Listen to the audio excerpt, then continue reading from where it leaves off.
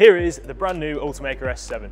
This is part of the Pro bundle that we have the material station underneath, and there's a whole lot of new features that have been added to this machine to help you really advance in what you can do with additive manufacturing. It goes hand in hand with the current bundles that you guys already have from Ultimaker with the S5s, the S3s, and any other machines that you might be bundling together, but the S7 is allowing you to take it to the next level. Let's have a look at some of the features that this machine has got. Some of the features of the S7 include flexible build plate, allowing easier material and print removal.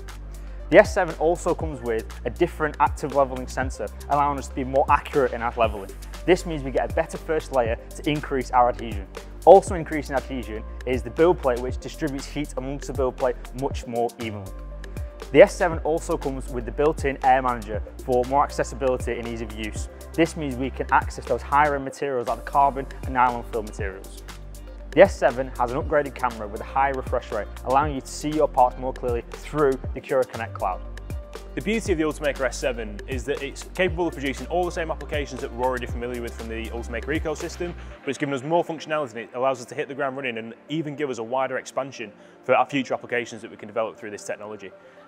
The foundation for the Ultimaker S7 allows it to be future-proof, so any new updates that are going to come over the next few years mean that this machine isn't going to be obsolete and it's going to be the front runner for how we can really advance additive manufacturing in your business and moving forward throughout the industry. If you want to know any more about the Ultimaker S7 and all the different applications that it can help you unlock within your business, then reach out to the team at 3dgbire.com and we'll get you in touch with one of our sales engineers.